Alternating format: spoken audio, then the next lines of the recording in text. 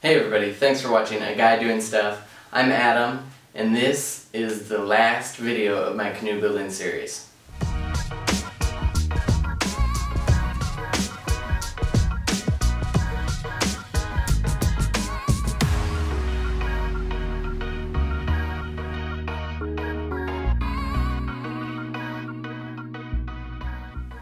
So now I've built the hull, installed all the gunnels and decks, sealed everything with three coats of epoxy, and sanded that seal down to a 220 grit wet sand.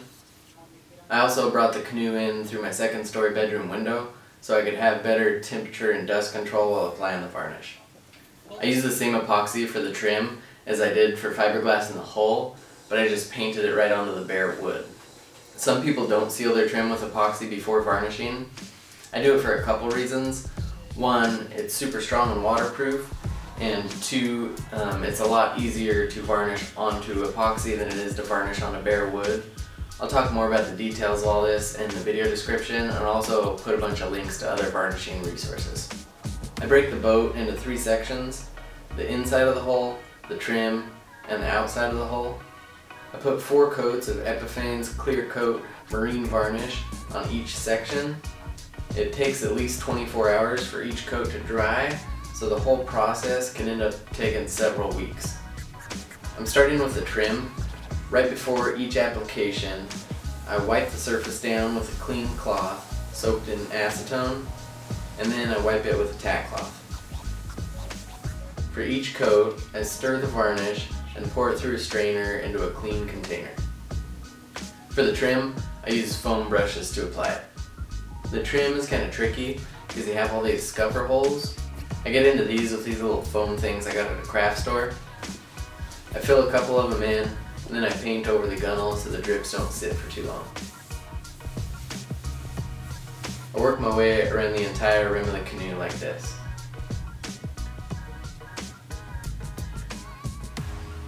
You want to work from a wet edge as much as possible, so don't let either edge of where you're working on sit for too long. I get all the crevices on the trim coats too, so I don't have to worry about them when I'm doing the hull. I jump back and forth on my edges until I finish all the trim.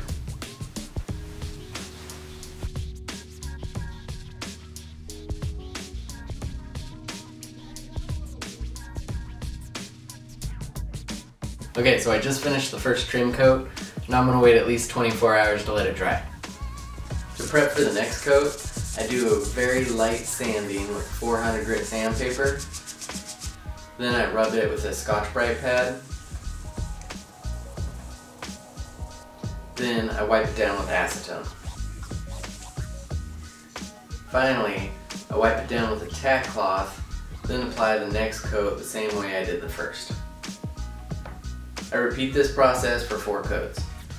The trim section is by far the hardest because all the little holes and crevices. After the fourth coat, I take the tape off and put new tape on the gunnel, leaving a little bit of the varnish section showing. I rough that up with sandpaper, then clean the inside of the hull with acetone and tack cloth. I apply the varnish for the hull sections a little bit differently than I did for the trim section I roll the varnish on with a 4 inch foam roller like this, then I use a clean paintbrush to smooth it out. It actually smooths out pretty easily. You want to work carefully and quickly, making sure you keep that wet edge. It's a lot easier to do if you have someone rolling the varnish on and someone else painting it out. I do four coats on the inside too, with the same roughing and cleaning process in between each one.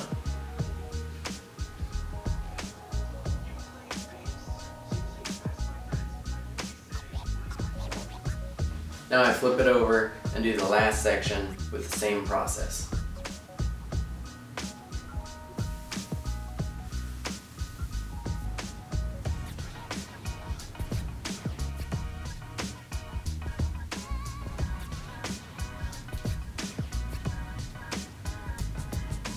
After four coats, I flip it back over install the seats and the yoke. And I'm done.